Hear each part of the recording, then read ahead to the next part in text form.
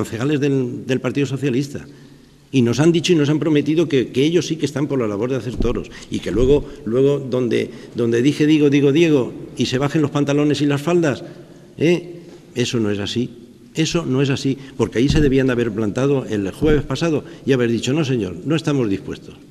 O ese artículo se retira o, se, o, nosotros estamos por la labor de que eso se hagan toros. Y si no, pues mira, hasta aquí, llegamos, aquí rompemos las relaciones.